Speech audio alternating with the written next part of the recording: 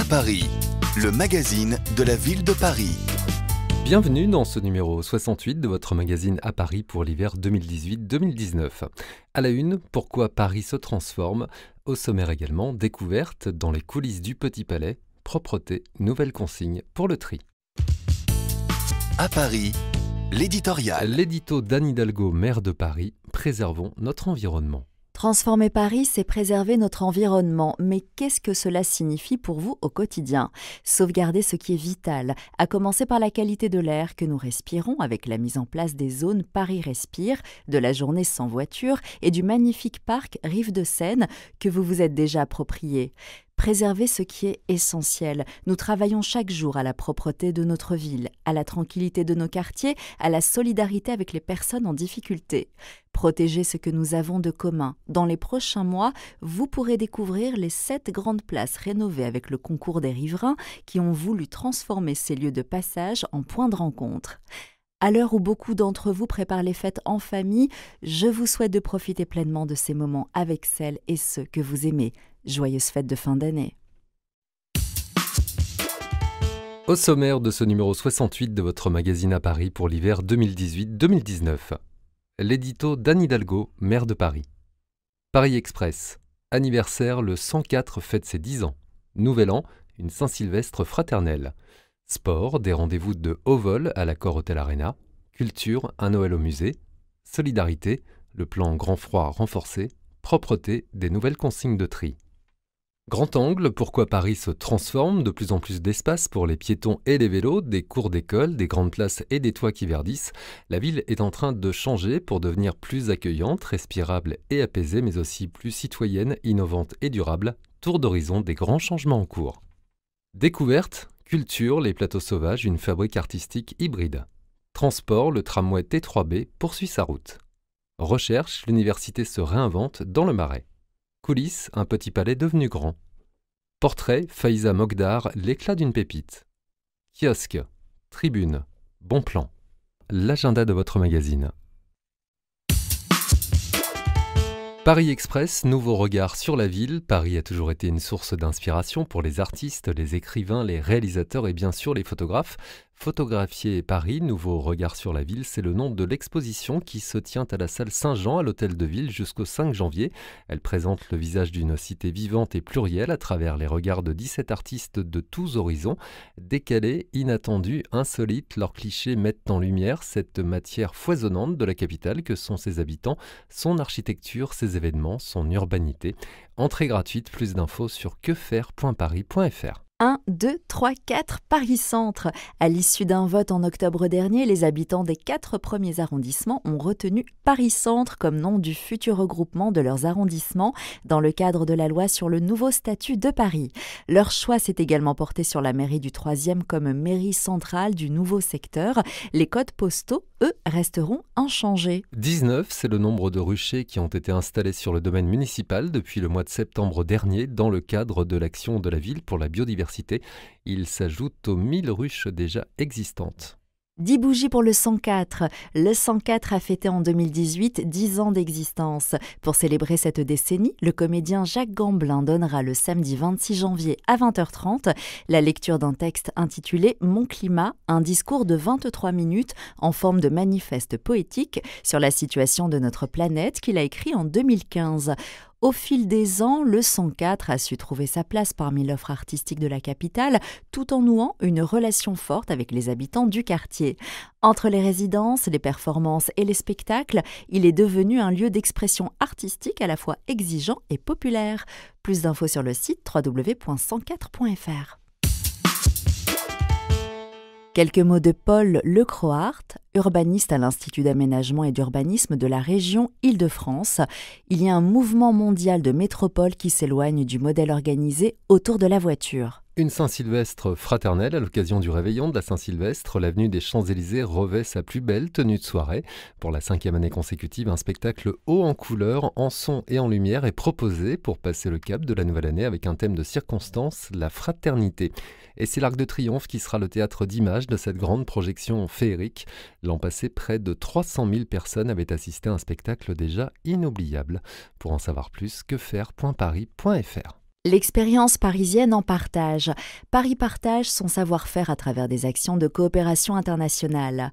À Phnom Penh, capitale du Cambodge en pleine mutation, des conseils et un accompagnement ont été fournis aux équipes municipales pour l'organisation et la gestion du développement urbain. Autre coopération notable, celle avec Bethléem, la cité cisjordanienne, agglomération de 110 000 habitants confrontée à de nombreux embouteillages et à un déficit de transport, a bénéficié d'une assistance technique et de formation prodiguée par la ville de Paris. Objectif se doter d'un plan de déplacement urbain, réduire sa dépendance à la voiture et développer les espaces publics piétonnisés. Plus d'infos sur le site paris.fr/international. Des rendez-vous de haut vol, amis sportifs, sortez vos agendas. L'Accor Hotel Arena, dans le 12e arrondissement, affiche un programme de haute volée ces prochaines semaines. Le 29 décembre, réveillonnez avant l'heure avec la crème du basket français lors du All-Star Game de la Ligue nationale de basket. Le 27 janvier, place au meeting de Paris Indoor qui rassemble les meilleurs spécialistes de l'athlétisme français et internationaux. Les 9 et 10 février, les stars du judo se donnent rendez-vous pour le Paris Grand Slam 2019. Enfin, les fans de hockey sur glace se retrouveront du 16 au 10 17 février pour les phases finales de la Coupe de France. Toutes les infos sur www.accorhotelarena.com. 1200 places de parking à tarif préférentiel dans 11 parcs de stationnement situés aux portes de Paris seront bientôt mises à disposition des travailleurs franciliens. Une condition, qu'ils terminent leur trajet en transport en commun.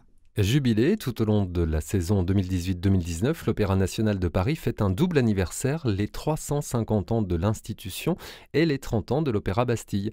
Des événements célébrés avec des représentations exceptionnelles comme le gala inaugural les 30 et 31 décembre, des installations artistiques de Claude Levesque et une programmation qui rend hommage aux compositeurs, metteurs en scène, chanteurs et chorégraphes l'occasion d'écouter ou de réécouter Berlioz, Rameau, Bizet, Verdi, Mozart, Tchaïkovski et de voir ou revoir les ballets de Nureyev, Robbins, Neumeyer, Graham. L'opéra de Paris, c'est aujourd'hui trois scènes, le Palais Garnier, l'Opéra Bastille et la troisième scène, une scène digitale créée en 2015. Toutes les infos et la programmation sur opéradeparis.fr.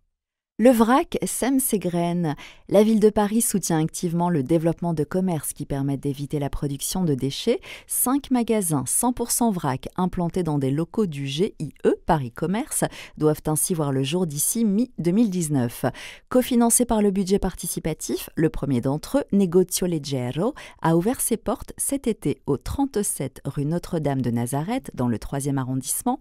Produits d'épicerie, savons, lessives et huiles essentielles y sont proposés sous les conseils avisés de Pauline et Guillaume. Pendant les vacances de Noël, les musées de la ville de Paris ouvrent leurs portes aux familles afin de leur permettre de s'approprier ces lieux de transmission culturelle. Rendez-vous au Petit Palais dans le 8e, au musée d'art moderne de la ville de Paris dans le 16e, au musée Carnavalet dans le 3e et à la crypte archéologique de l'île de la Cité dans le 4e, au musée Bourdelle dans le 15e arrondissement, au musée Zadkine dans le 6e, au musée de la vie romantique dans le 9e et au musée Cernucci dans le 8e pour des visites animées, théâtralisées, littéraires, conférences et autres ateliers artistiques. Toutes les infos sont à retrouver sur paris.fr slash musée au pluriel. Un air de fête sur le parvis. Jusqu'au 6 janvier, le parvis de l'hôtel de ville se couvre d'un épais manteau de sapin et de bouleaux. L'esplanade accueille aussi un grand carrousel de deux étages et un petit train pour les petits, deux activités gratuites. Quant aux gourmands, ils trouveront différents stands de restauration et de vente de produits gastronomiques. De nombreuses activités sportives et festives sont proposées non loin de là, sur les berges de Seine, murs d'escalade, biathlon, pistes de curling, calèches. Des images géantes sur le thème de Noël et Paris sont également projetés sur le mur du quai entre le pont Notre-Dame et le pont au Change du 22 décembre au 2 janvier de 17h à minuit. Plus d'infos sur le site paris.fr. Savoir-faire en exil, ils sont venus des quatre coins du monde emportant leur savoir-faire avec eux. Créée en 2016, l'association Fabrique Nomade propose des ateliers d'artisanat menés par des personnes réfugiées au Viaduc des Arts dans le 12e. Couture, vannerie, céramique, métallerie d'art, bijouterie, un excellent moyen de participer à l'insertion professionnelle et linguistique des personnes exilées. Pour en savoir plus, www.lafabriquenomade.com. Services municipaux, gare aux fraudes. La ville de Paris offre certains services gratuits aux Parisiens comme l'enlèvement d'encombrants ou la demande d'actes d'état civil. Méfiez-vous des sites frauduleux qui factureraient ces services. D'autres sociétés de dépannage mal intentionnées veulent faire croire qu'elles sont agréées par la ville de Paris. Or, aucun partenariat de ce type n'existe. Tout savoir sur l'art à Paris jusqu'en juin 2019, Paris Musée propose son premier cycle de cours d'histoire de l'art à destination du grand public.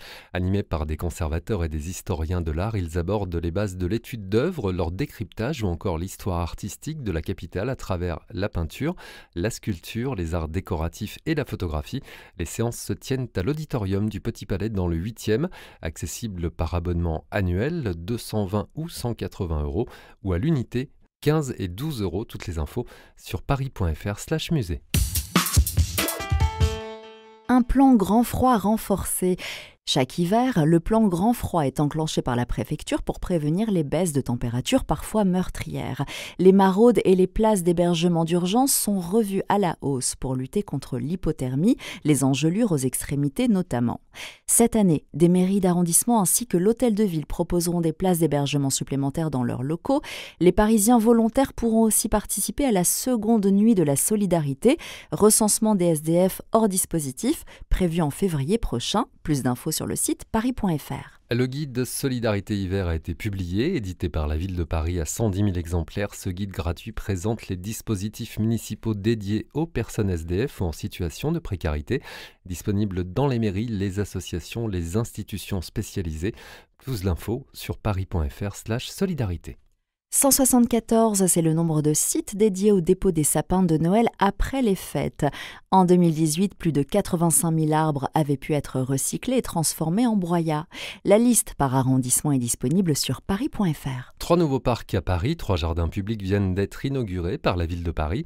Avec ses deux aires de jeu et ses 5 hectares, le jardin Truilot dans le 11e a surgi de terre en 2018. Le jardin du père Armand David dans le 6e a quant à lui été rénové et modernisé, tout comme le parc Dans le 16e, passé de 2,1 à 3,7 hectares. Toutes les infos sur paris.fr. Pratique Paris vous facilite le tri. À partir du 1er janvier 2019, deux nouvelles consignes entrent en vigueur pour le tri de vos déchets. Bien choisir son bac. Dans le bac jaune, la liste des déchets à jeter en vrac dans le bac jaune s'élargit. Papier, carton, conserve, bouteilles en plastique, etc. Vous pouvez aussi déposer les sacs plastiques vides, les pots de yaourt, les capsules de café usagées, les boîtes d'œufs, les films plastiques, les emballages alimentaires. Dans le bac blanc, les bouteilles, bocaux et pots en verre bien vidés sans couvercle ni bouchon continueront d'être déposés dans le bac blanc. Dans le bac vert, le bac vert est réservé à tous les autres déchets dans un sac fermé, par exemple les déchets alimentaires, le coton, les couches usagées, sauf dans le deuxième et le douzième où les déchets alimentaires sont collectés séparément. Les solutions pour le petit électroménager. Les déchets issus du petit électroménager ne pourront plus être déposés dans les bacs jaunes. Lorsque les appareils fonctionnent ou sont réparables, privilégiez le réemploi à travers les 13 recycleries et ressourceries. Lorsque les appareils sont hors d'usage, apportez-les chez les distributeurs dans un des 8 espaces tri, dans l'un des deux points tri ou dans une tri mobile à retrouver sur paris.fr/slash tri mobile. Quels objectifs de tri pour 2022 les nouvelles consignes de tri concourent à la stratégie zéro déchet lancée par la ville de Paris dès 2014. Si des progrès ont déjà été enregistrés, ces mesures doivent accélérer le réemploi et le recyclage des déchets avec comme objectif 6 kg par habitant et par an de déchets d'emballage triés en plus. 41,4 kg par habitant et par an de déchets d'emballage triés contre 35,4 kg en 2016. 1110 tonnes de verre triés en plus chaque année, soit environ 0,5 kg en plus par habitant. 5500 bacs de collecte supplémentaires installés dans Paris à partir de 2019. Toutes ces infos sont à retrouver sur paris.fr slash paris du tri.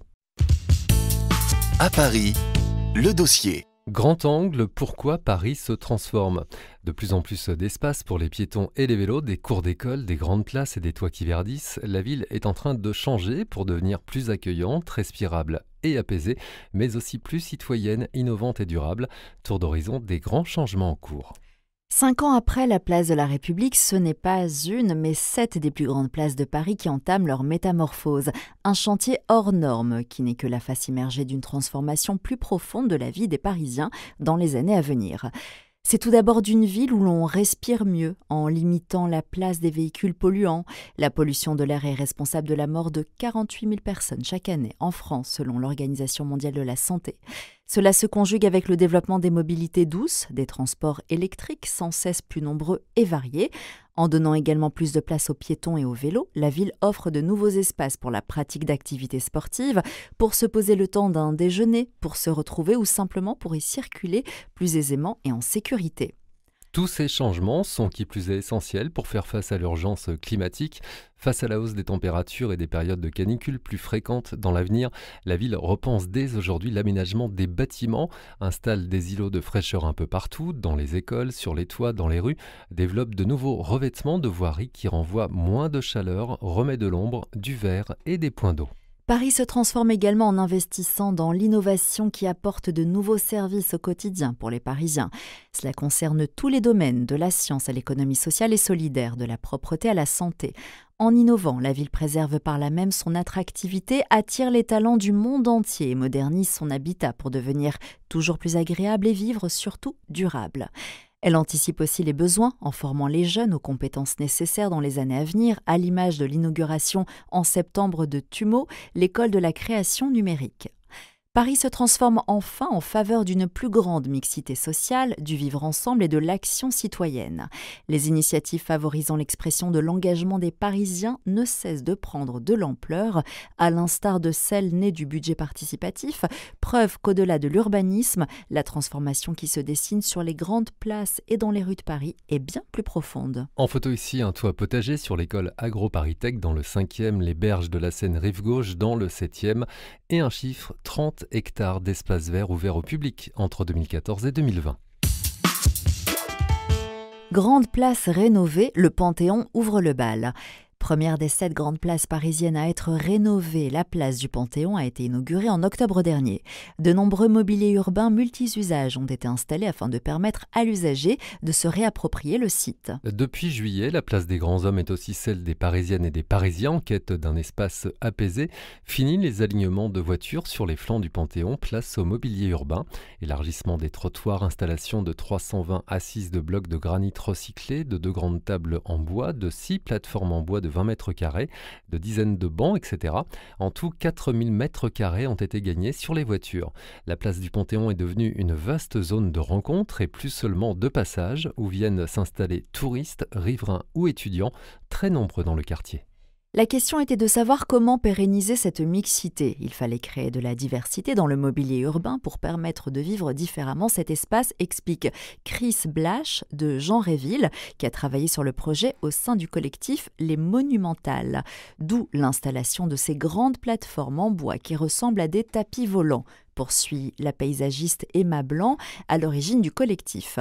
Pour les deux femmes qui réfléchissent à la place du genre en milieu urbain, l'idée était de proposer des formes les plus abstraites possibles pour que le maximum de personnes soient tentées de les utiliser.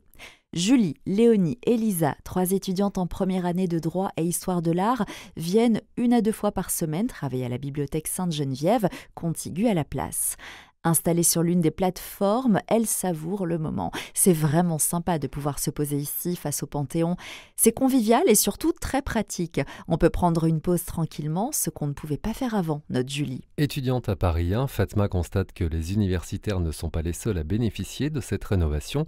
On voit les personnes âgées, les gens du quartier profiter de l'espace. Ça facilite aussi la mixité du lieu. Et Emma Blanc de s'étonner d'avoir rencontré lors de la phase d'étude des comportements des usagers de la place, des femmes, venir faire la sieste sur les plateformes. Je n'avais jamais vu ça dans l'espace public. On est en plein centre-ville et on a des gens qui viennent ici pour retrouver les conditions d'un parc, remarque Chris Blash. C'est ça un espace public inclusif. Toutes les infos sur paris.fr slash vos places. Hommage, place des grandes femmes. L'entrée au Panthéon de Simone Veil le 1er juillet dernier a été source d'inspiration dans le cadre de la rénovation de la place. Le collectif Genre et Ville, soutenu par la ville de Paris, a souhaité en faire une place mémorielle pour les femmes. Au printemps prochain sera ainsi inaugurée une installation avec les noms de centaines de femmes qui couvriront le mobilier urbain. En photo ici la place du Panthéon dans le 5e, 4000 mètres carrés de mobilier urbain y ont été aménagés. D'autres façons d'apaiser la ville, une bouffée d'air frais avec Paris Respire. Les zones Paris Respire s'animent les dimanches et jours fériés et le samedi à Château-Rouge dans le 18e pour laisser place aux piétons, aux mobilités durables et aux transports en commun de 10h à 18h. Les rues sont interdites aux voitures, exception faite des riverains sur présentation d'un justificatif de domicile, des transports en commun, des taxis et des VTC. Certaines zones Paris Respire sont effectives toute l'année, d'autres seulement en période estivale. Pour découvrir la zone la plus proche de chez soi, rendez-vous sur paris.fr slash Paris Respire. Paris Centre piétonnisé un dimanche par mois. Dans le cadre du dispositif Paris Respire, les quatre premiers arrondissements parisiens, désormais baptisés Paris Centre, sont fermés à la circulation automobile de 10h à 18h tous les premiers dimanches du mois depuis le 7 octobre. Cette organisation s'est faite en concertation avec la préfecture de police, les maires d'arrondissement et les associations de quartier. Elle répond à une demande des habitants ainsi qu'à une volonté de privilégier d'autres mobilités que la voiture. Bienvenue en zone 30. D'ici à 2020, l'ensemble de Paris, à l'exception des grands axes, sera en zone 30 alors que 45% de la voirie est déjà limitée à 30 km/h depuis 2017. Réduction du volume sonore, de la pollution et du risque d'accident. Les avantages sont nombreux, sachant que la vitesse moyenne des automobilistes dans Paris est estimée à 13,7 km/h. La pose de ralentisseurs et l'implantation de carrefours surélevés renforceront la sécurité des piétons, tandis que la présence accrue des vélos autorisés à rouler à double sens incitera tous les usagers à la prudence. Calme et revêtement. Moins de bruit et de chaleur, c'est l'objectif des nouveaux revêtements bitumeux actuellement testés dans trois rues parisiennes. Rue de Courcelles dans le 8e arrondissement, rue Le Courbe et rue Frémicourt dans le 15e arrondissement. Ces sites pilotes ont été choisis selon plusieurs critères dont l'exposition au soleil, le manque de végétation, l'exposition à des niveaux de bruit élevés. Sur l'aspect phonique, les portions de rue concernées devraient connaître une diminution par deux de la source sonore. Côté chaleur, la baisse de température correspondrait à environ moins 2 degrés en ressenti. Le plan vélo accélère. Paris s'est fixé l'objectif de devenir une des capitales mondiales du vélo.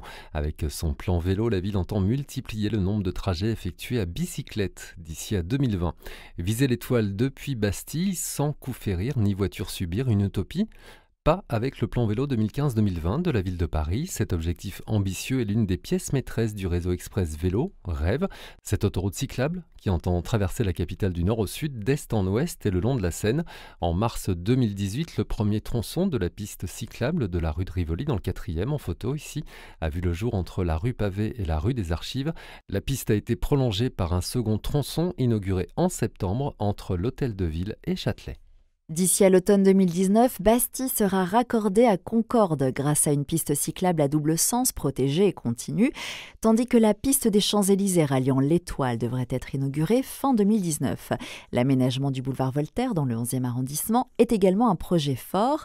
Dès le printemps prochain, deux pistes protégées unidirectionnelles permettront de relier nation à république. D'ici à 2020, 150 millions d'euros auront été engagés dans la politique cyclable, un investissement inédit pour multiplier la part des déplacements à vélo. Par ailleurs, les difficultés qu'a connues le déploiement du nouveau service de Vélib devraient rapidement n'être qu'un lointain souvenir. Progressivement, le fonctionnement du service s'est amélioré, l'ensemble des 1400 stations et des 20 000 vélos devant être opérationnels début 2019.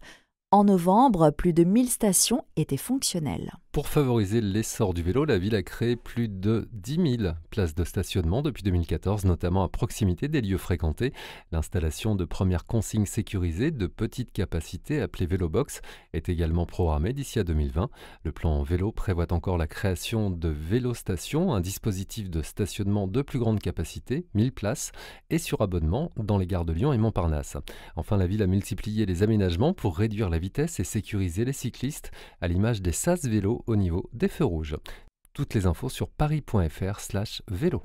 En chiffres, lutte contre la pollution. 15,8% de baisse du trafic automobile intramuros entre juin 2013 et juin 2018. 13,7 km par heure de vitesse moyenne intramuros en juin 2018, un chiffre stable par rapport à juin 2017. 8% du trafic composé de deux roues motorisées entre juin 2017 et juin 2018. Zéro parisien exposé à une concentration en PM 2.5 supérieure aux valeurs réglementaires contre 700 000 en 2013. Enfin, 2,4 millions de visiteurs ont fréquenté les berges de la rive droite depuis leur piétonisation. Interview de Frédéric Errand, économiste et urbaniste à l'Université de Lille, spécialiste des questions de déplacement urbain. Avant 2030, les cyclistes seront plus nombreux que les automobilistes. Selon vous, Sommes-nous au seuil d'un profond changement dans l'usage des modes de déplacement? Il n'y a jamais de changement brusque en matière de mobilité, mais des tendances lourdes et de lents retournements. De 1900 jusqu'aux années 1980, Paris a connu une hausse considérable du trafic automobile qui a fini par chasser presque entièrement les cyclistes de la rue. Vers 1990, cette tendance s'est retournée et le trafic baisse depuis lors au point qu'il est aujourd'hui presque deux fois moindre, sans d'ailleurs que l'économie parisienne en soit pour autant affectée. Dans le même temps, les déplacements à vélo ont au contraire été multipliés par 10. Le développement du vélo à Paris s'inscrit-il dans un mouvement plus global? Ce que vit Paris n'a rien d'exceptionnel. Toutes les grandes villes du monde occidental connaissent une évolution semblable. Baisse de la circulation des voitures et hausse des déplacements en transport public, à pied et surtout à vélo. Les raisons sont toujours les mêmes, des mesures visant à rééquilibrer l'usage des modes de déplacement au profit des modes alternatifs à l'automobile afin de réduire les nuisances, pollution, bruit et accidents et de reconquérir les espaces publics. Frédéric Errand, quelles sont les principales idées reçues qui freinent la pratique du vélo à Paris? Il y en a d'innombrables et elles tombent peu à peu avec l'extension de l'usage qui démontre qu'elles sont fausses. On ne pourrait pas rouler sous la pluie ou en hiver, ni rester élégant à vélo, ni transporter quelques kilos de course, ni garder un vélo sans se le faire voler, ni prendre un enfant sans le porte-bagages, ni rouler autant que les Néerlandais, ni tenir en équilibre après 60 ans ou se déplacer sans casque. Mieux vaut en rire en regardant ce qui se passe aux Pays-Bas, au Danemark ou simplement en Allemagne. L'un des arguments principaux en faveur de la pratique du vélo est économique, affirmez-vous dans votre livre. Le vélo est plus cher que l'on croit, la voiture moins chère qu'on le dit, mais il est vrai que si un vélo remplace une deuxième voiture, le bénéfice est conséquent. Les économies sont encore plus considérables pour la collectivité. On peut estimer grossièrement qu'en 25 ans, la politique cyclable parisienne aura permis d'économiser la construction d'une nouvelle ligne de métro. Tous ceux qui s'énervent contre les cyclistes qui envahissent les rues devraient au contraire se réjouir parce qu'ils évitent ainsi des hausses d'impôts locaux. Le vélo favoriserait-il une société plus égalitaire, plus démocratique? Il y contribue sans aucun doute. Le vélo donne non seulement accès à une mobilité peu coûteuse pour tous, mais qui rend aussi plus autonome et moins dépendant de la technologie. Cet engin reste l'un des rares objets complexes que l'on peut encore réparer soi-même, ou mieux dans un atelier participatif et solidaire. Et puis, à vélo, il faut se fatiguer pour avancer et tout le monde est à peu près à égalité devant l'effort à fournir. Vous estimez que la part du vélo dans l'ensemble des déplacements urbains pourrait atteindre les 40% en 2050. Cela pourrait être euh, le cas dans une capitale comme Paris? Non, car à Paris, le métro est bien maillé et très efficace. C'est un concurrent redoutable. La ville est aussi très dense, deux fois plus que Londres ou Berlin, ce qui favorise la marche qui représente déjà plus de la moitié des déplacements. En revanche, il est très probable au rythme actuel de l'évolution des pratiques de déplacement que les cyclistes seront avant 2030 plus nombreux que les automobilistes dans les rues de Paris comme c'est déjà le cas dans plusieurs villes d'Europe aujourd'hui. Frédéric Errand est auteur du Retour de la bicyclette aux éditions La Découverte, 255 pages pour un coût de 10 euros. Dans ce grand angle, Paris à la reconquête de l'espace public, tous les arrondissements sont concernés par les projets d'aménagement visant à mieux partager l'espace public au profit des mobilités actives et douces. Cette exigence est aussi celle d'améliorer la qualité de l'air et le cadre de vie. Sur ces deux pages, une carte de Paris nous montre les pistes cyclables en aménagement protégé, les zones piétonnes permanentes, les rues anti-bruit et anti-chaleur, les grandes places parisiennes en rénovation et les zones Paris Respire. Piste cyclable rue de Rivoli, c'est l'une des actions majeures du plan vélo de Paris. L'aménagement d'une large piste cyclable rue de Rivoli est en cours. De la rue pavée au boulevard de Sébastopol, on peut d'ores et déjà circuler dans les deux sens sur une piste protégée. D'ici à l'automne 2019, elle reliera la place de la Concorde à la place de la Bastille. Zone piétonne, parc Rive de Seine, les quais de la rive droite et de la rive gauche constituent depuis avril 2017 le parc Rive de Seine. Celui-ci offre des points de vue exceptionnels sur les monuments parisiens, participe au développement de la biodiversité en milieu urbain et devient un lieu privilégié de respiration en cas de pic de chaleur. Paris Respire, bassin de la Villette. En 2017, le dispositif Paris Respire s'est élargi à trois nouveaux quartiers, dont celui du bassin de la Villette, dans le 19e arrondissement, tous les dimanches et jours fériés de l'année, de 10h à 18h jusqu'à 20h en été. Le quartier est fermé à la circulation automobile. La zone concernée est délimitée par la place Stalingrad, la rue de Crimée, l'avenue de Flandre et l'avenue Jean Jaurès. Place en rénovation, la Bastille, la place de la Bastille a entamé sa métamorphose en septembre dans le cadre du réaménagement de sept grandes places parisiennes. Côté bassin de l'Arsenal et jusqu'à la colonne de Juillet, elle offrira un nouvel espace piéton de plus d'un hectare. On y trouvera des espaces ludiques et ombragés et les trottoirs bordant la place seront élargis. TUMO, l'école gratuite de la création numérique. Depuis septembre, le Forum des images dans le premier arrondissement accueille TUMO, une école de la création numérique interactive et ludique.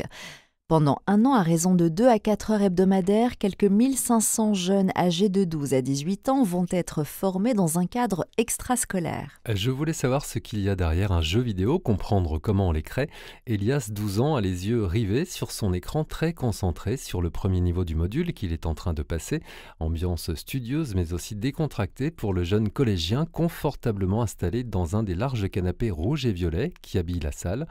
Ce style, comme à la maison, donne le ton du modèle pédagogique de l'école TUMO inaugurée en septembre par la mairie de Paris au Forum des images dans le premier arrondissement.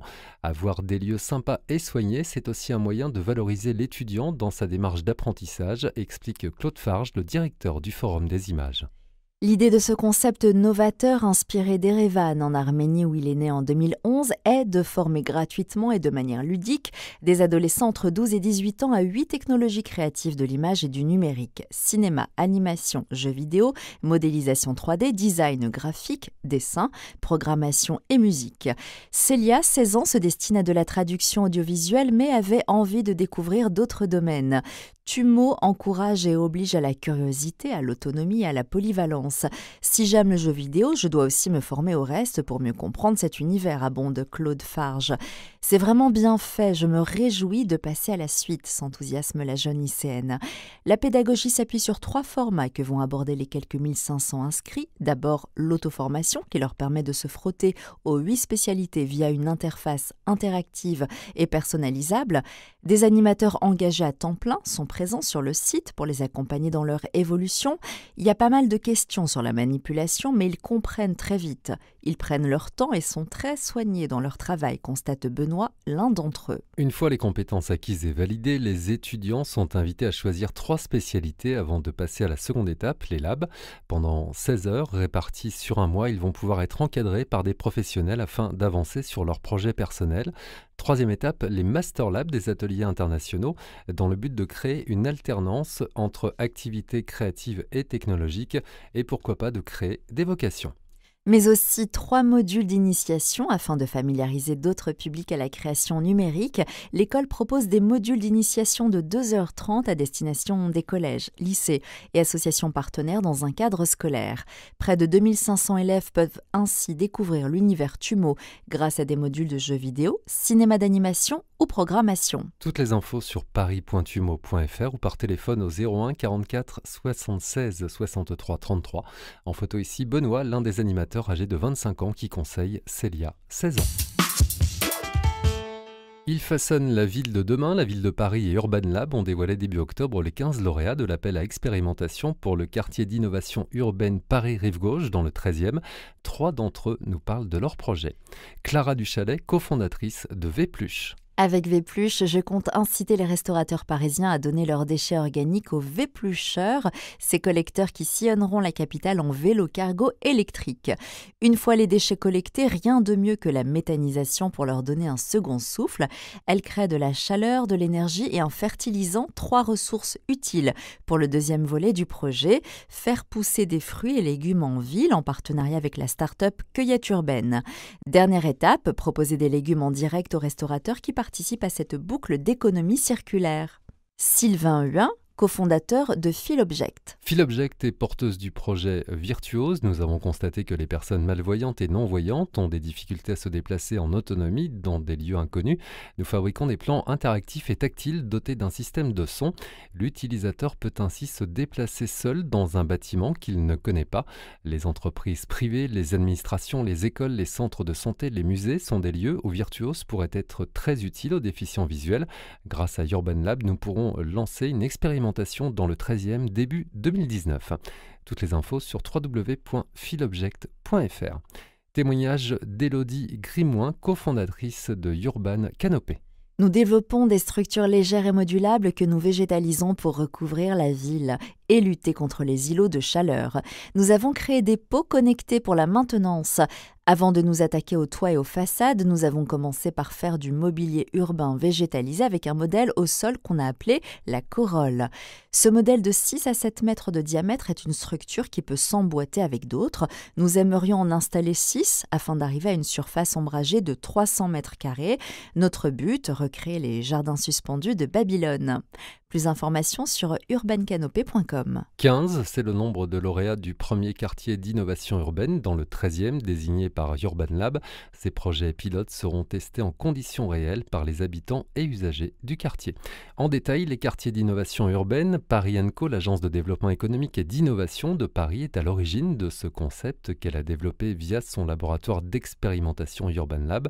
L'idée, identifier deux territoires représentatifs et y développer des projets pilotes pour penser la ville de demain, plus efficiente, durable et autonome.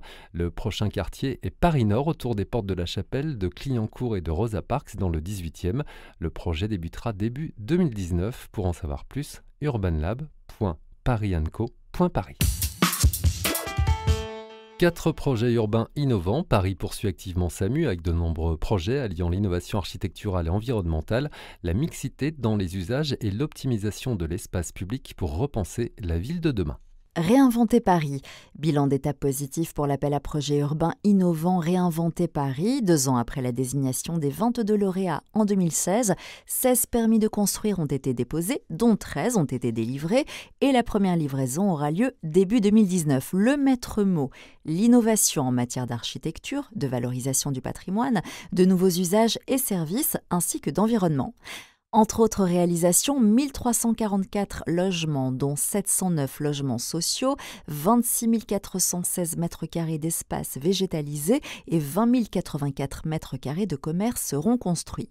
Fort de cette réussite, le deuxième volet intitulé Les Dessous de Paris a été lancé en mai 2017. Objectif, redonner vie à des espaces méconnus, insolites et remarquables. Les lauréats seront connus en décembre 2018. La ZAG Bercy-Charenton, dans le 12e, voté au Conseil de Paris en juillet dernier, la ZAG Bercy-Charenton permettra la création d'un nouveau quartier à la charnière de Paris, de Charenton-le-Pont. La ville de Paris va développer un programme de 580 000 mètres carrés afin de réaliser un quartier mixte, attractif et neutre en carbone. Ce futur quartier accueillera près de 9000 habitants et 13 000 salariés. Parmi les nouvelles constructions, six tours écologiques viendront s'articuler avec le bâti existant, libérant des emprises au sol pour les espaces publics et les espaces verts. Le prolongement de la rue Baron-le-Roi créera une nouvelle liaison avec la ville de Charenton et une passerelle jardinée permettra de franchir les voies ferrées. Troisième projet, Chapelle-Charbon dans le 18e arrondissement, enclave ferroviaire. Ce site, actuellement en friche, va se métamorphoser progressivement à partir de cette année. Situé entre les portes de la Chapelle et d'Aubervilliers, il accueillera le plus grand espace vert, créé sous la mandature qui doit atteindre 6,5 hectares à terme. On peut l'apercevoir en photo. La création de la ZAC Chapelle-Charbon a été votée au Conseil de Paris de juillet. Elle prévoit l'aménagement d'une première tranche du parc de 3 hectares dès 2020, la construction de 450 logements, dont 50% sociaux, 20% intermédiaires et 30% libres, d'un groupe scolaire de 12 classes et de locaux d'activité ou commerce. Enfin, l'ancien hôpital Saint-Vincent-de-Paul, dans le 14e, actuellement occupé par les Grands Voisins, village collaboratif, social et solidaire géré par trois associations. Le site de l'ancien hôpital Saint-Vincent-de-Paul va complètement se transformer d'ici 2023 Un quartier à dominante résidentielle mixte va y être réalisé dans le respect de la trame paysagère, de l'histoire et du patrimoine du site, avec la conservation de 60% du bâti historique, la réduction de l'empreinte écologique, zéro carbone, zéro déchet, l'adaptation au changement climatique, l'économie circulaire et la participation des usagers guideront la réalisation de ce futur quartier durable. Le budget participatif, une démocratie concrète, lancé en 2014, le budget participatif parisien connaît un succès croissant. À l'heure de déposer vos idées pour l'édition 2019, retour sur 5 ans d'engagement citoyen. Nouvelles pistes cyclables, murs végétalisés, équipements sportifs en libre accès, rues piétonnisées, kits d'hygiène pour les personnes sans domicile, rénovation de locaux associatifs et commerciaux dans les quartiers populaires, en cinq ans, le budget participatif a permis la concrétisation de nombreuses attentes des Parisiens. Consacré à des projets proposés et votés par les citoyens, il représente 5% du budget d'investissement, soit 100 millions par an, dont 30 millions dédiés aux quartiers populaires. En 2018, 210 793 Parisiens ont pris part au vote, dont 79 748 élèves qui ont voté dans le cadre du budget participatif des écoles et des collèges et 3165 Parisiens qui ont voté au budget participatif des bailleurs sociaux, soit une hausse de la participation de 25,5% par rapport à l'année précédente. Le budget participatif est aussi un outil pédagogique sur le fonctionnement de la ville et de l'action publique. Il permet de s'impliquer personnellement, d'apprendre à communiquer et à faire campagne, de débattre avec les autres. Les résidents de l'ensemble immobilier du square Lichtenberg dans le 14e, de la porte de Vanves en photo ici, en ont par exemple fait l'expérience entre 2014 et 2017 avec leur projet de square pour enfants. Le cabinet d'architecture avec lequel nous avons travaillé a comptabilisé au total 6000 heures de bénévolat de la part des résidents, raconte Pascal Jost, l'un d'entre eux. Entre 15 et 20 personnes étaient présentes à chaque atelier préparatoire. Ouvriers et habitants collaboraient tout au long des travaux, des repas étant même servis dans les appartements. Inauguré en juin 2017, le square a tout de suite été fréquenté. Après des décennies, le terrain vague a repris vie pour la plus grande fierté des habitants du quartier. Consultez la liste des projets, n'hésitez pas à déposer le vôtre car cela ne coûte rien et pensez toujours à ce qui peut être utile à la collectivité, encourage Pascal Jost. Des paroles aux actes, il n'y a qu'un pas pour participer à l'aventure 2019. Rendez-vous en janvier sur le site internet du budget participatif. Pour déposer votre idée, seul ou à plusieurs, vous pourrez donc aller sur budgetparticipatif.paris. S'engager pour le climat. Au printemps dernier, 73 765 000 Parisiens ont participé à la votation citoyenne qui les invitait à se prononcer sur le nouveau plan climat-air-énergie de la capitale, dont l'objectif est la neutralité carbone. Plus de 15 000 participants se sont aussi déclarés volontaires pour le climat afin de participer à la mise en œuvre concrète de ce plan dans les mois et les années à venir. Plus d'infos sur paris.fr slash plan climat. Citoyen avant tout, créé afin de permettre aux Parisiens qui souhaitent s'engager au quotidien de le faire, la carte citoyenne ouvre les portes du Conseil de Paris et les coulisses de la ville par le biais de visites. Elles permettent de participer à des ateliers citoyens, des cérémonies ou de rencontrer des élus.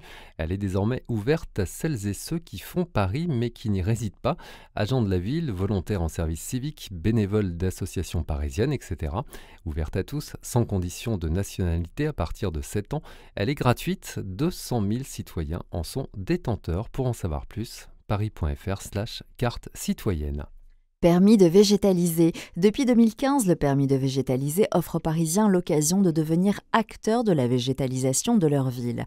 Aujourd'hui, 2100 permis sont en cours de validité. Leurs détenteurs ont l'autorisation d'installer une jardinière au coin de leur rue ou au pied d'un arbre pour y faire pousser des fleurs, faire courir des plantes grimpantes sur un mur, transformer un potelet en installation végétale. Plus d'informations sur le site paris.fr slash permis de végétaliser.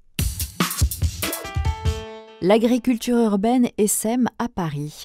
Impensable il y a quelques années, l'agriculture urbaine prend racine petit à petit dans les immeubles parisiens. Cette nouvelle pratique, qui répond aux besoins d'espaces verts et d'une consommation de produits issus de circuits courts, marque aussi un changement profond de la conception de la ville. Ils poussent au Cachemire sur les plateaux d'Iran dans l'Atlas marocain et désormais dans le 13e arrondissement de Paris.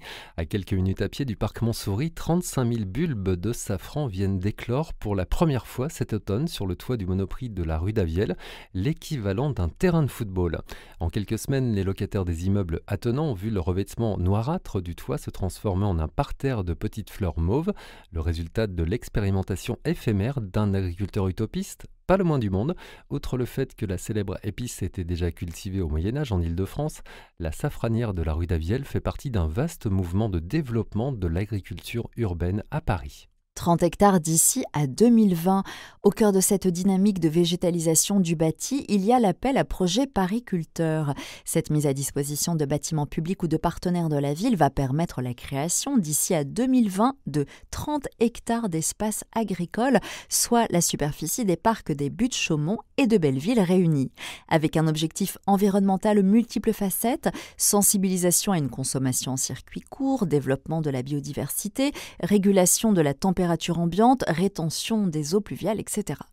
Affairé à ses tomates sur le toit de l'Opéra Bastille dans le 12e arrondissement, Frédéric Madre, ingénieur écologue et responsable du potager de 2500 mètres carrés qui trône depuis cet été sur le bâtiment, abonde en ce sens.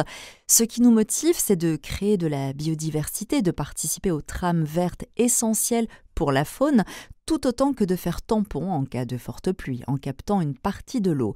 Mais les bénéfices de la végétalisation des toits ne s'arrêtent pas là. Grâce à l'isolation thermique qu'il procure, son potager offre par exemple à l'opéra plus de fraîcheur en cas de forte chaleur. Les toits de Paris sont-ils pour autant compatibles avec les contraintes de l'agriculture de surcroît bio? L'avantage en ville, c'est qu'ils ne gèlent pas, explique l'ingénieur. Par ailleurs, l'ensoleillement sur un toit est optimal. Le fait d'être en hauteur, plus en prise avec le vent, nous protège également des maladies qui touchent les plantes. Résultat, l'occasion des premières récoltes cet automne, la production fut prometteuse. Tomates, concombres, courgettes et autres légumes ont déjà pu être distribués sous la forme de paniers hebdomadaires à une quarantaine de salariés de l'opéra. À terme, il devrait être plus d'une centaine. L'agriculture urbaine ne se développe pas qu'au-dessus de nos têtes, les sous-sols sont eux aussi une aubaine pour ces nouveaux paysans des villes à l'image de la caverne, micro-ferme dédiée à la culture de champignons et d'endives, située dans l'ancien parking d'un logement social du 18e arrondissement. Avec 9000 m2 de surface disponible, la capacité du lieu offre des espaces de production exceptionnels. Équipé de sa trottinette pour circuler de son bureau à ses sites de production, le dirigeant de la société Jean-Noël Gertz ne voit que des avantages à se situer à Paris. Ce sont des cultures qui sont traditionnellement à l'abri de la lumière, dans des galeries en calcaire, souvent difficiles d'accès, loin à la campagne, avec des conditions de travail et de sécurité souvent délicates. Le travail est beaucoup plus facile ici. Et si les 3 tonnes par mois de pleurotes et de shiitake et les 800 kilos d'endives par jour sont destinés aux coopératives bio d'Île-de-France et à toutes les épiceries bio du nord de Paris, la caverne remplit aussi un rôle social en offrant des surplus aux habitants du quartier ou en organisant des rendez-vous avec les résidents du logement social.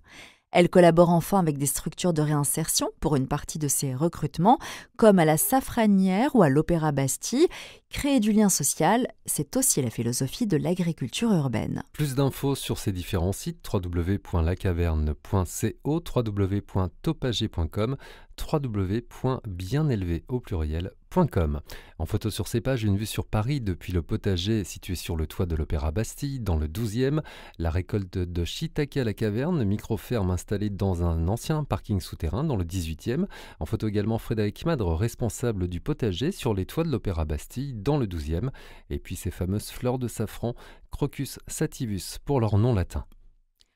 En chiffres, l'agriculture à Paris, c'est aussi un kilomètre de murs de houblon créés depuis 2017 et répartis sur 10 sites afin d'accompagner l'émergence des brasseries. 1170 arbres fruitiers plantés dans les écoles pour l'apprentissage et la sensibilisation à l'environnement, la biodiversité et l'alimentation. 124 jardins partagés cultivés par les habitants. 17 jardins pédagogiques favorisant les rencontres dans les quartiers. Découverte, culture, les plateaux sauvages, une fabrique artistique hybride. Inaugurée début septembre après deux ans de travaux, les plateaux sauvages sont nés de la réunion du 20e théâtre et du centre d'action sociale des Amandiers dans le 20e. C'est aujourd'hui une fabrique culturelle qui invite à la déambulation créative, artistique ou conviviale. Devant une assemblée de 14 étudiants de l'École supérieure d'art dramatique de la ville de Paris, Clément Bondieu explique, parle vite, s'arrête, réfléchit, hésite, reprend et se reprend. Puis éclate de rire son auditoire avec lui. Une idée truculente lui est venue suite à l'intervention d'un de ses élèves. Ensemble, ils planchent sur la pièce Dévotion écrite par Clément qu'ils joueront fin juin sur la scène du théâtre de la Cité internationale dans le 14e arrondissement. Poète, écrivain, auteur, le jeune artiste de 30 ans a pris pour l'occasion la casquette de metteur en scène et surtout de transmetteur artistique dans le cadre de sa résidence au Plateau Sauvage. Créé en 2016 suite à un appel à projet de la ville de Paris, ce site de quelques 3000 mètres carrés a rouvert ses portes dans le 20e en septembre. Les Plateaux Sauvages sont une fabrique culturelle au carrefour de la création professionnelle et de la transmission artistique, détaille Laetitia Guédon, la directrice. 14 artistes, émergents ou confirmés, y sont actuellement en résidence sur des périodes allant de quelques jours à plusieurs mois. Tous bénéficient d'un espace de travail pour développer leur création. En échange, ils s'engagent à porter un projet de transmission artistique à destination d'un public forcément non professionnel, précise la directrice mission locale, association, école ou encore, comme avec Clément Bondu, apprenti comédien, chaque résident peut choisir son public en fonction de ce qu'il veut créer. 14 points de vue en plus, 14 corps ont permis de donner de la densité à ce que j'écrivais. Je ne suis pas le seul à transmettre, note le metteur en scène. En 2017, il avait déjà travaillé avec un foyer de jeunes travailleurs sur l'idée de déambulation dans la ville, un lieu ouvert sur la cité donc, et aussi un lieu de convivialité pour les gens du quartier, précise Laetitia Guédon. Le site propose ainsi une trentaine d'ateliers de pratiques artistiques amateurs pour tout âge, danse, yoga, théâtre, gymnastique. En outre, les plateaux sauvages sont lauréats du budget participatif 2017 pour un projet de végétalisation de l'espace. D'ici à 2019-2020, un jardin potager partagé devrait notamment venir fleurir la vocation de convivialité propre lieu. Solidarité, une tarification responsable. Les plateaux sauvages proposent tout au long de l'année des spectacles de leurs artistes résidents avec une tarification responsable qui varie en fonction des moyens de chacun de 5 à 30 euros. Nous avons également mis en place le système du billet suspendu, explique Laetitia Guédon. En achetant son billet, le spectateur peut ainsi participer à une cagnotte solidaire et collaborative à destination de ceux qui n'ont pas les moyens de payer leur place. 3000 mètres carrés, c'est la surface investie par les plateaux sauvages depuis septembre septembre 2018. En photo ici, la répétition du prochain spectacle, Les Mystiques, et Clément Bondu lors d'une transmission artistique avec 14 apprentis comédiens. Toutes les infos sur www.lesplateausauvages.fr. Le tramway T3B poursuit sa route. Inauguré le 24 novembre 2018, le tramway T3B poursuit son chemin jusqu'à la porte d'Anières dans le 17e arrondissement, en partant de la porte de la Chapelle dans le 18e arrondissement. Huit nouvelles stations ont vu le jour le long des 4,3 km du tronçon recouvert d'un ruban végétalisé. Désormais, se déplacer entre la porte de la Chapelle dans le 18e et la porte d'Anières dans le 17e ne prend plus que 13 minutes. Et pour cause, le tramway T3B s'est doté d'un nouveau tronçon inauguré en novembre dernier. Quatre ans de travaux ont été nécessaires pour relier les deux portes distantes de 4,3 km et construire les huit nouvelles stations qui ponctuent ce trajet. Près de 90 000 voyageurs quotidiens sont attendus sur ce tronçon de T3 qui alimente désormais ce secteur où vivent 600 000 franciliens et où travaillent 300 000 salariés. Le nouveau tronçon et ses abords ont fait l'objet d'un aménagement de l'espace public réfléchi afin de créer un environnement convivial et faire la part belle aux différentes mobilités. Passages piétons, promenades et pistes cyclables tout le long du trajet, mais aussi des liaisons avec quatre lignes de métro, une ligne de RER e et une vingtaine de bus. En outre, les deux fois deux voies des boulevards des maréchaux ont été conservées. Un travail de végétalisation a par ailleurs contribué à rendre l'environnement du T3B agréable. 27 000 mètres carrés de gazon recouvrent les plateformes du tramway et de nombreux arbres ont été plantés ou replantés aux abords de la ligne. La boucle formée par le tramway 3 entre le pont du Garigliano dans le 15e arrondissement et la porte d'Anières dans le 17e arrondissement crée ainsi un véritable ruban vert. Ce vaste chantier a dû faire face à plusieurs défis techniques que la mission Tramway de la ville de Paris, accompagnée de quelques 900 ouvriers et 40 entreprises, a su relever. L'un des temps forts de ce projet a été le désamiantage de la voirie, explique Christelle Godinho, chef de la mission Tramway. Cette opération a engendré un retard sur la livraison du tronçon car il fallait mettre au point la procédure de désamiantage avec l'État pour protéger la santé des ouvriers, des riverains et des usagers. Le Nord faisant désormais partie du ruban vert, c'est vers l'ouest parisien que la conquête du 3B se poursuit. Les travaux devraient débuter au printemps 2019 et permettront de rallier la porte d'Anière à la porte Dauphine dans le 16e, bouclant ainsi ou presque la boucle du T3. On aperçoit ici en photo le nouveau tramway T3B qui dessert le palais de justice des Batignolles dans le 17e. Pour en savoir plus, tramway.paris.fr. Stop aux LGBT-phobies. Depuis plusieurs mois, la France connaît une recrudescence des agressions à l'égard des personnes LGBTQI. La ville de Paris a présenté fin novembre un plan d'action doté de 32 mesures et d'un budget de 100 000 euros pour assurer à chacune et à chacun protection et sécurité dans la capitale. Ce plan comprendra des actions de communication auprès du grand public, d'accompagnement des associations du milieu LGBTQI, d'inclusion en milieu scolaire ou encore de mobilisation des services publics. Plus d'infos sur paris.fr. Un nouveau service d'autopartage. Suite à la résiliation anticipée d'Autolib, la ville a souhaité remettre en service 1000 bornes de recharge pour véhicules électriques sur 200 anciennes stations Autolib. Les autres stations, 400, serviront de place de stationnement pour les véhicules électriques en autopartage d'opérateurs privés. Des places réservées pour les trottinettes. La ville va créer des espaces réservés au stationnement des trottinettes et vélos en free floating qui prendront la forme de places marquées au sol, comme cela est déjà le cas dans les 2e et 4e arrondissements. Ce maillage, défini en lien avec les opérateurs afin de déterminer les emplacements les plus pertinents, facilitera la cohabitation entre les différents usages. L'université se réinvente dans le Marais. Inauguré au mois d'octobre dans le 4e arrondissement, le nouvel écrin du Centre de recherche interdisciplinaire, le CRI, forme un mini-campus où tout est fait pour favoriser les échanges et l'innovation dans la manière d'apprendre. Voici une université d'un nouveau genre. Ici, les étudiants affichent des photos d'eux sur les murs de leur classe, révisent leurs cours confortablement installés dans des canapés, côtoient chercheurs et inventeurs de serious games ou encore journalistes scientifiques. Entre ces murs flambant neufs, fusion d'un ancien hôtel particulier du XVIIe siècle et d'un bâtiment contemporain d'une grande fluidité, le CRI est un lieu qui réinvente les manières d'apprendre, d'enseigner, de faire de la recherche et de mobiliser l'intelligence collective explique son directeur et cofondateur François Tadei.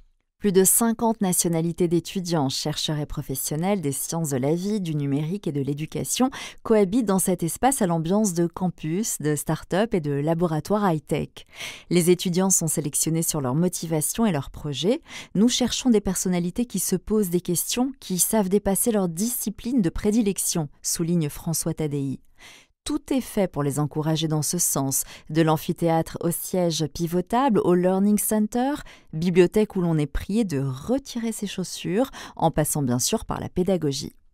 Professeur de biologie et chercheur au CNRS, Antoine Tally propose à ses élèves de seconde année de licence des classes inversées.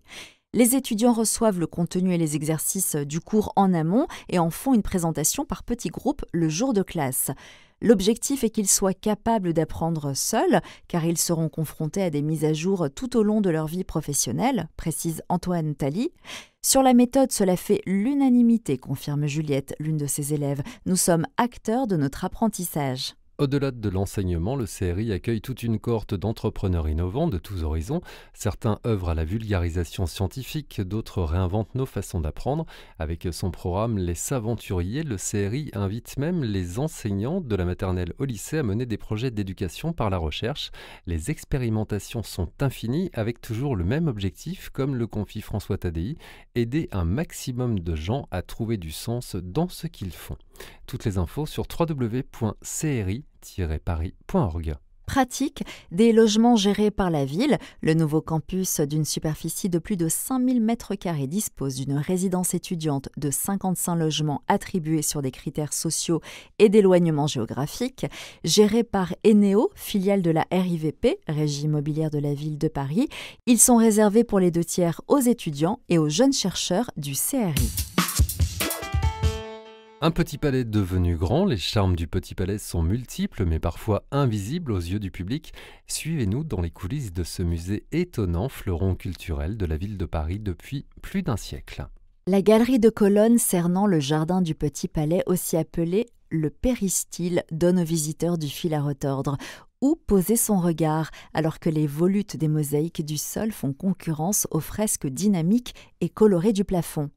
Faut-il s'échapper dans le jardin exotique ou s'abriter sous les bras protecteurs des anges dorés du Lanternon Le Petit Palais ne se lasse pas de surprendre et d'impressionner. Ce joyau architectural imaginé par Charles Giraud pour l'exposition universelle de 1900 n'a pas à rougir face à son acolyte du même âge, le Grand Palais.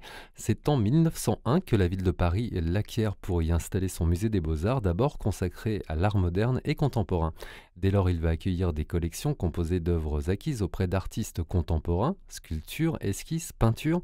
Alors que nous déambulons sur ces parquets fraîchement cirés, difficile d'imaginer que son histoire est bien moins lisse qu'il n'y paraît.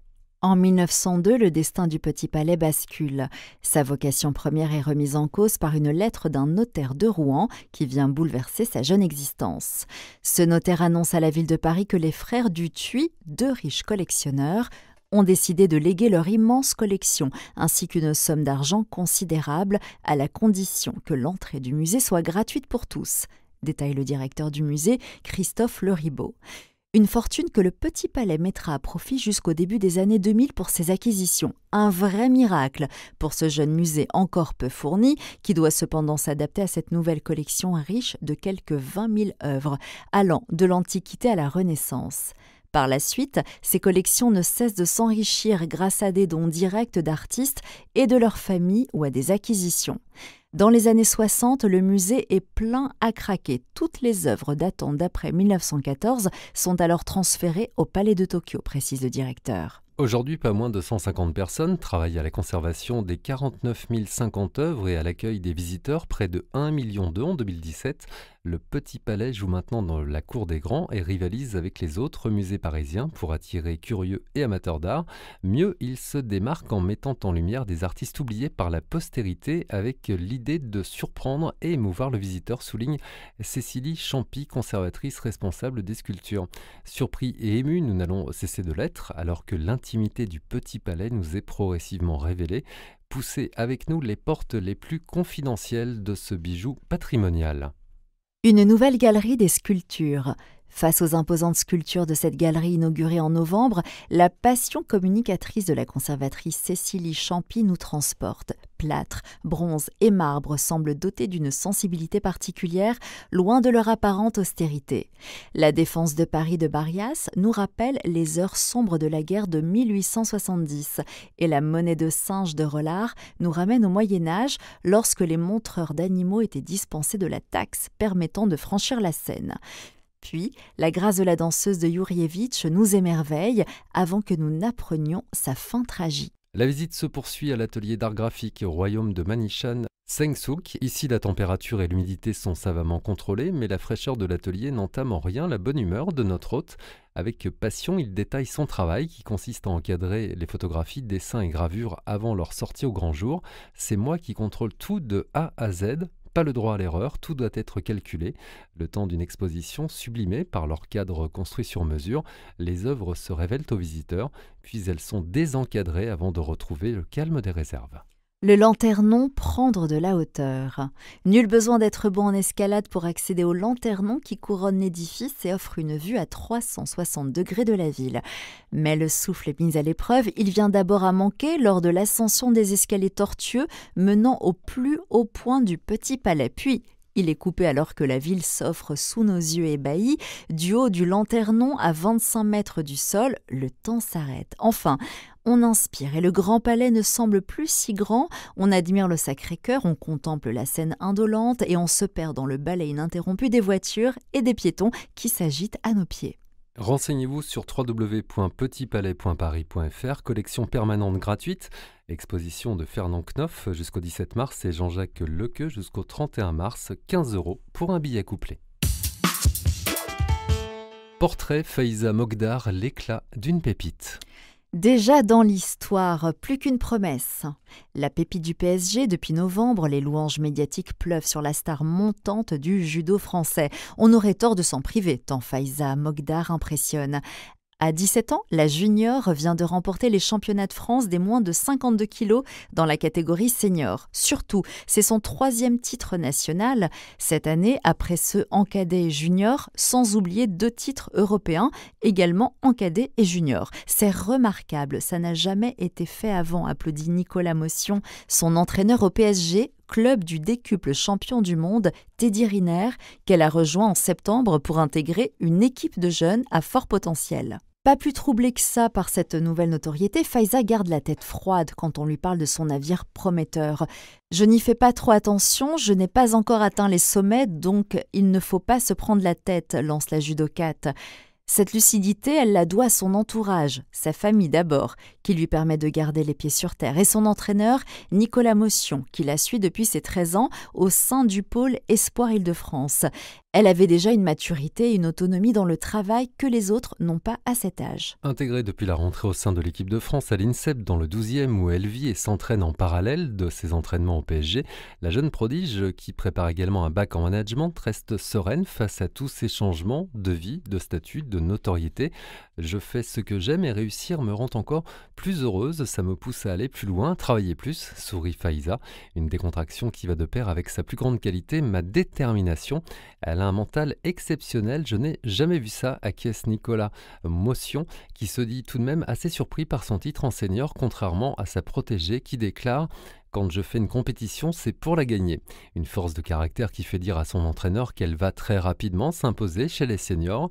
Rendez-vous est pris au Paris Grand Slam Judo en février, son premier grand test international à ce niveau.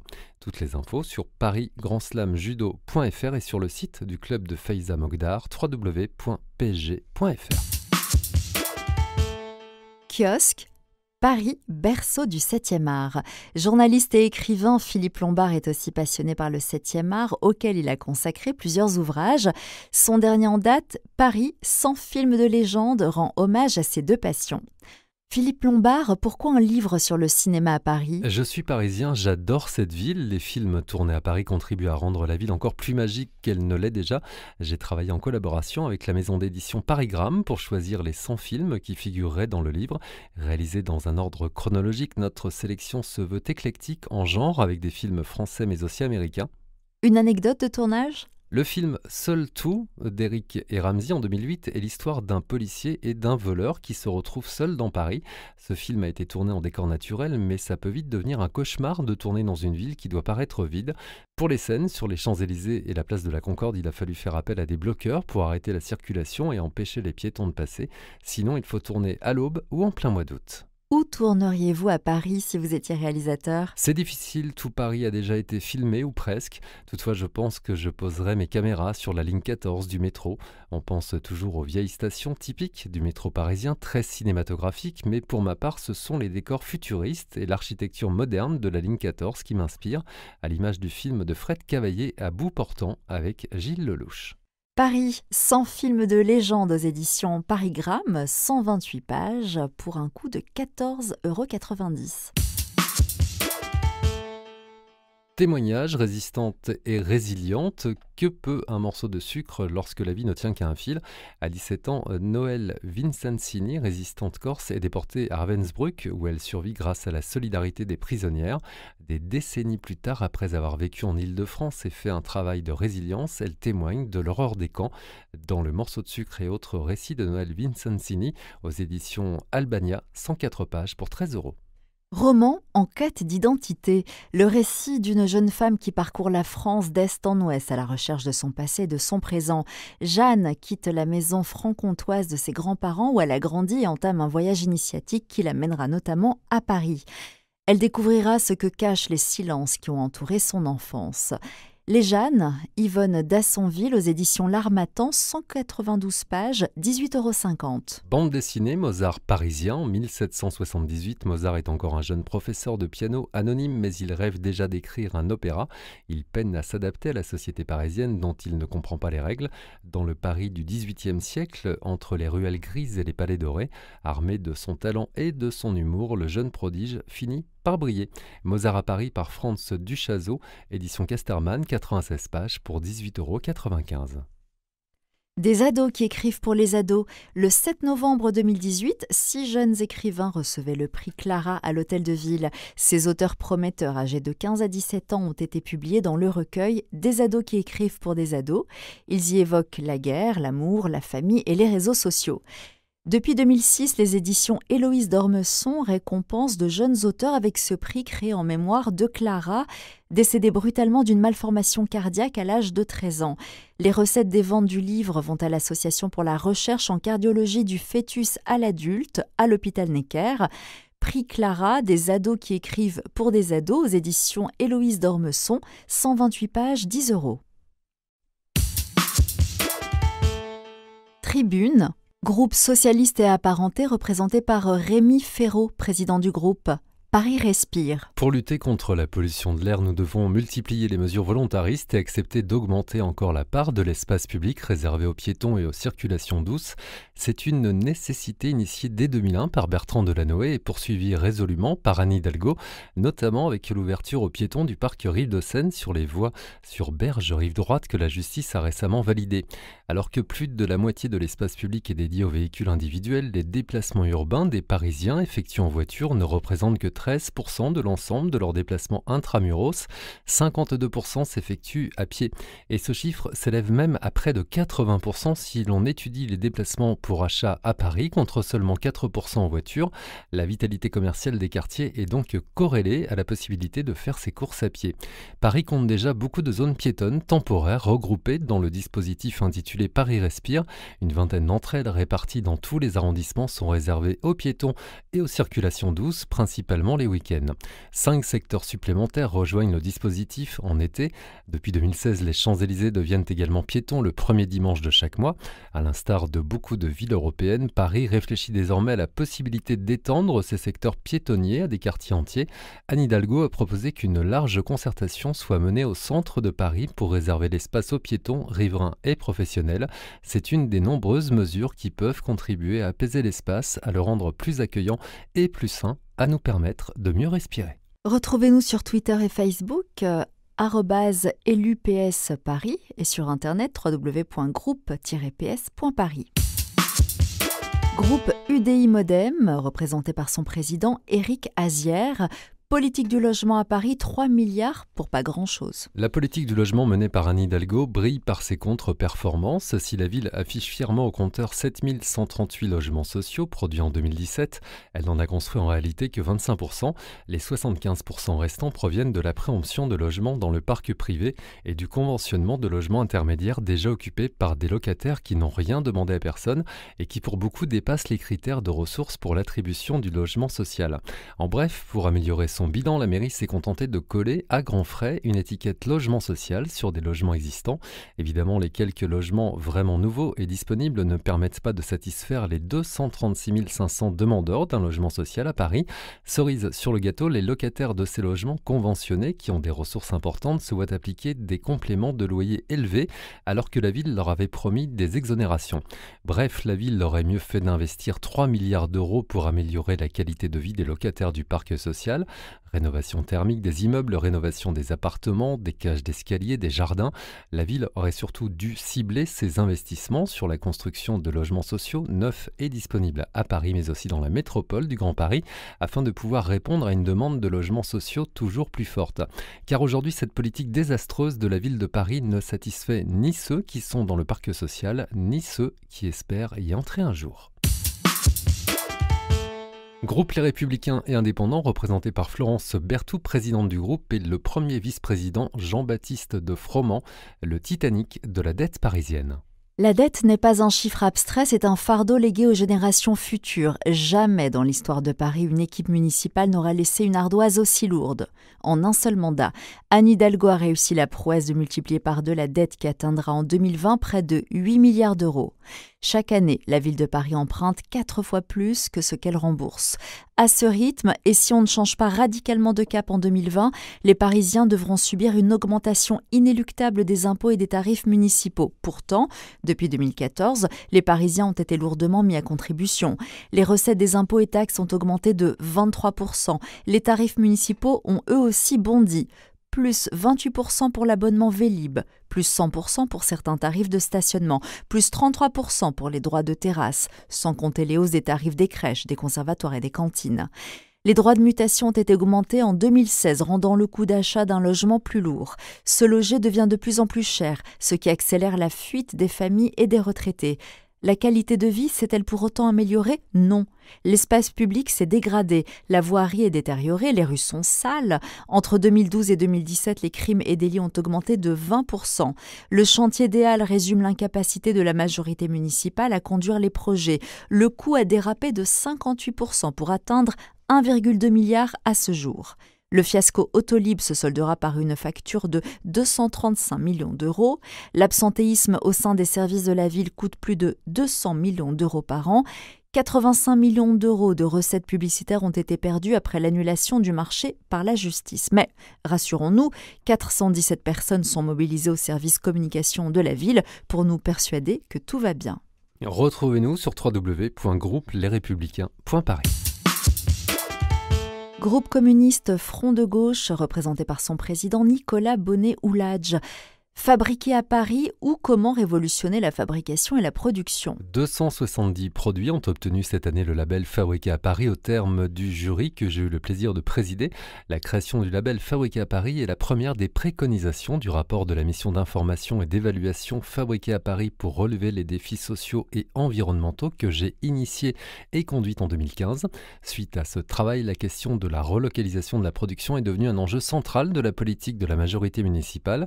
Le label Fabriqué à Paris est un point de départ d'une politique qui porte un changement de société en profondeur, consommer ce que nous produisons localement. Faire de lance d'une politique de localisation de la fabrication, de la production au cœur de Paris, ce label veut offrir une réponse à l'enjeu de l'emploi local. En valorisant le travail des artisans parisiens, il contribue à la transmission des savoir-faire et à redonner du sens au travail. Il est la mise en acte de la reconnaissance des compétences des fabricantes et fabricants à Paris. Il permet aux Parisiennes et aux Parisiens qu'ils souhaitent de faire des choix de consommation plus responsables, fabriquer à Paris, c'est aussi relever le défi environnemental de la réduction de la pollution en rapprochant le lieu de production du lieu de consommation.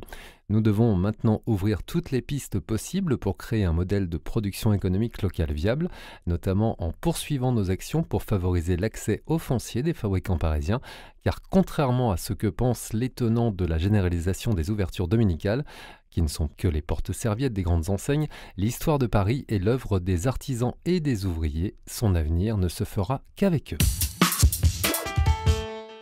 Groupe écologiste de Paris, représenté par son président David Béliard, plus de nature pour le climat et notre bien-être. Trouver une place assise dans le métro aux heures de pointe, s'asseoir en terrasse les jours de beau temps ou pire encore se dégoter un coin à l'ombre dans un parc lorsqu'il fait chaud, tout cela relève de l'exploit. Et pour cause, à Paris, il y a du monde, beaucoup de monde. Les chiffres sont éloquents avec plus de 25 000 habitants par kilomètre carré. Paris est l'une des villes les plus denses du monde et nous sommes bien peu gâtés question parc et jardin. En moyenne, nous disposons de 5,8 mètres carrés d'espace vert par habitant, 14,5 mètres carrés si l'on inclut les bois de Vincennes et de Boulogne. À Londres, c'est plus de 45 mètres carrés, 59 mètres carrés à Bruxelles, 68 mètres carrés à Madrid, 100 mètres carrés à Strasbourg et même 321 mètres carrés à Rome. Malgré cela, on continue à construire partout où c'est possible, sur les derniers terrains en friche, aux abords du périphérique et sur les espaces verts eux-mêmes. Pourtant, plus on bétonise nos sols, plus nous fragilisons la ville. Sans nature, nous nous exposons plus encore aux effets du dérèglement climatique. Les espaces verts nous offrent de la fraîcheur essentielle pour surmonter les 12 jours de canicule à plus de 40 degrés que nous subirons dès 2030 essentiel également pour nous protéger des crues. Un arbre à lui seul absorbe 200 litres d'eau par jour, qui dit mieux, sans compter le calme et les moments de respiration qu'offrent les parcs et les jardins. En investissant dans plus d'espaces verts, c'est dans notre qualité de vie qu'on investit. Face au bouleversement du climat, pensons la vie autrement, avec un horizon, faire la part belle à la nature, donc ne plus envisager chaque mètre carré disponible comme un espace à rentabiliser, plutôt que de bétonner, créons des parcs et jardins et faisons du logement différemment. Rien qu'à Paris, il y a 600 000 mètres carrés de bureaux vides, soit autant de places disponibles à transformer en logements sociaux. Groupe radical de gauche centre indépendant représenté par sa présidente, Laurence Goldgrab, consommez bien, consommez parisien. À l'heure où nous devons revenir à une consommation raisonnée pour enrayer les conséquences dramatiques de la surconsommation pour notre planète, les fêtes de fin d'année, période de consommation mais aussi de bonnes résolutions, nous semblent propices au changement. Consommer local, une action somme toute simple, c'est poursuivre deux objectifs soutenir le tissu économique et local et réduire son empreinte carbone, les élus du groupe RGCI sont constants dans leur engagement aux côtés des commerçants, artisans et entrepreneurs locaux qui incarnent la vitalité économique de nos quartiers. À ce titre, nous avions proposé en début de mandature un plan de sauvegarde du commerce de proximité. L'économie de proximité à laquelle nous nous sommes attachés est porteuse de liens sociaux et faciliter l'implantation des commerces de proximité. Avec le dispositif Paris Commerce, c'est réimplanter des acteurs de la vie de quartier au pied de nos immeubles. Pour accompagner le changement des modes de production et de consommation, la ville de Paris a créé le label Fabriqué à Paris qui, depuis deux ans, récompense et valorise les produits fabriqués à Paris et démontre l'excellence et le dynamisme de l'artisanat parisien. Que ce soit des libraires indépendants, des commerces de bouche, des artisans et même des brasseurs, Paris regorge de talents locaux et de produits de qualité qu'il faut mettre en valeur trois chalets fabriqués à Paris du marché de Noël seront installés sur la place de l'Hôtel de Ville à partir du 14 décembre. En tant qu'élus de Paris, nous devons être des facilitateurs pour ces entrepreneurs du changement qui créent des emplois pérennes, non délocalisables et respectueux de notre environnement. Vous pouvez vous aussi être acteur de ce changement en devenant des consommateurs locaux et du fabriqué à Paris. Le groupe radical de gauche centre indépendant est à retrouver sur www.groupe-prgci-paris.com et sur Twitter groupe RGCI. Le groupe Les Parisiens progressistes constructifs et indépendants, son président Pierre Auriacombe. Paris doit redevenir une ville-monde. Aujourd'hui, quatre villes peuvent être considérées comme ville-monde, Londres et New York à l'ouest, Pékin et Shanghai en orient. Si Paris avait indéniablement ce statut au début du XXe siècle, il l'a perdu au cours du siècle précédent. Pourquoi et comment le retrouver? Tout d'abord, force de reconnaître que Paris n'est réellement dominante dans aucun secteur. Bien évidemment, Paris reste la ville du luxe. Les boutiques sont là, mais pas forcément les sièges sociaux, sans parler de la fabrication des modèles répartis sur toute la planète. Si la ville a indéniablement fait un effort sur les startups et le high-tech, Paris ne rivalise pas, du moins dans l'esprit des entrepreneurs, avec la Silicon Valley. Nos universités et la recherche ont beaucoup progressé, mais restent cantonnées un second rôle face à Shanghai ou aux universités américaines. En ce qui concerne la finance, si le Brexit représente une opportunité pour Paris, il n'est pas certain que Londres perde sa place dominante en Europe et Francfort concurrence fortement Paris. Seule la qualité de vie parisienne, et ce n'est pas négligeable, semble aujourd'hui en mesure de rivaliser. Pourquoi ce déficit d'image pour Paris-Ville-Monde Tout d'abord, Paris étouffe dans ses 105 km. Pour rappel, New York, c'est près de 800 km, Londres 2000, sans parler de Shanghai et de ses 6000 km. Paris-Ville-Monde doit se positionner sur le Grand Paris et doit totalement changer sa gouvernance avec un vrai maire élu directement et bénéficiant ainsi d'un réel pouvoir comme son homologue de Londres. Cet enjeu sera sans conteste primordial lors de la prochaine campagne municipale. L'équipe qui gagnera devra insuffler, forcément en accord avec le président de la République et le gouvernement, cette dynamique qui redonnera à Paris son statut de ville-monde. Groupe démocrate et progressiste avec Julien Bargeton, Fadila Melal, Anne-Christine Lang, Thomas Loret, Didier Guillot, Mao Péninou, plus de pouvoir pour les maires d'arrondissement. Au dernier Conseil de Paris, notre projet de délibération visant à renforcer les compétences des maires et conseils d'arrondissement a été adopté. Tous les groupes de l'opposition et deux groupes de la majorité l'ont voté. Dommage que les trois autres n'aient pas suivi. Grâce à nous, un groupe de travail devra prochainement se prononcer sur un certain nombre de sujets en lien direct avec la vie quotidienne des Parisiennes et Parisiens. Nous avons entendu leurs préoccupations lors de nos nombreuses opérations de terrain. Ainsi, ces questions devront être traitées avant 2020. Quelles compétences concernant la gestion de l'espace public, nettoyage, propreté, réparation de voiries, etc. Quelles évolutions concernant les verbalisations en cas d'incivilité et les autorisations d'utilisation du sol, d'étalage de terrasses? Quel modèle pour une sécurité renforcée et efficace? Quel modèle pour les prestations sociales? CASVP, guichet unique, etc. Quel rôle concernant l'éducation, affectation, secteur multicollège, etc. Les mairies d'arrondissement sont l'interface principale de la population locale, mais peinent à répondre aux demandes. L'unité de Paris doit bien sûr être maintenue afin de garantir l'équité entre les arrondissements, mais la déconcentration des pouvoirs est plus que nécessaire. Il nous faut être plus efficace et agile. Le management de proximité pourrait être confié aux mairies d'arrondissement, par exemple. La mairie centrale resterait responsable de la répartition des ressources entre ces dernières. Par ailleurs, notre groupe macroniste assumera et défendra pleinement le projet d'une police municipale. Nous regrettons fortement que la majorité l'ait écarté des discussions. Trouvons le modèle le plus pertinent et les réponses les plus appropriées aux problématiques locales. Il nous faut faire un pari de la proximité. Groupe Génération avec Léa Filoche, sa présidente, un nouveau groupe pour une nouvelle ambition. Élus d'arrondissement ou élus de conseil de Paris du groupe Génération, nous sommes toutes et tous impliqués dans la vie quotidienne comme dans la politique de nos territoires. Au niveau parisien, nous nous engageons à participer au rassemblement de la gauche et des écologistes dans le cadre du contrat de mandature porté collectivement depuis 2014. Nos objectifs principaux sont à la fois simples et ambitieux, permettre à chaque Parisienne et Parisien de vivre décemment et sainement à Paris, respirer un air pur, avoir une alimentation saine, se loger à un prix raisonnable, se déplacer confortablement, accueillir avec respect les réfugiés, garantir la sécurité de toutes et tous, et particulièrement des plus fragiles, accéder à des loisirs comme à des pratiques culturelles et sportives de qualité, lutter contre toutes les formes d'exclusion, de discrimination, d'injustice, donner à chaque enfant un environnement scolaire digne et équitable, évoluer dans un environnement apaisé. Paris se doit d'être moteur pour accompagner les inévitables évolutions que les métropoles, et au premier rang desquelles la métropole du Grand Paris, auront à dans les années à venir, tant du point de vue de la ville durable et solidaire, de l'accompagnement de l'économie locale et circulaire, que de la solidarité territoriale qui doit dépasser les égoïsmes municipaux. Les élus Génération auront à cœur de faire entendre la voix de l'écologie politique, sociale et solidaire, notamment à l'occasion du vote du budget primitif 2019, en défendant des amendements en cohérence avec nos ambitions pour Paris. Retrouvez le groupe Génération sur www.génération-s-paris.fr. Les bons plans à Paris bénéficiaient des avantages proposés par votre magazine à Paris, du cirque extra, un nouveau spectacle au cirque d'hiver. Le cirque d'hiver de la famille Bouglione offre un spectacle inédit pour la saison 2018-2019. Retenez votre souffle devant les trapézistes volants, riez à gorge déployée avec les clowns, inspirez calmement en plongeant votre regard dans celui d'un éléphant. Le spectacle extra est une invitation à vivre et revivre de nouvelles émotions à chaque numéro.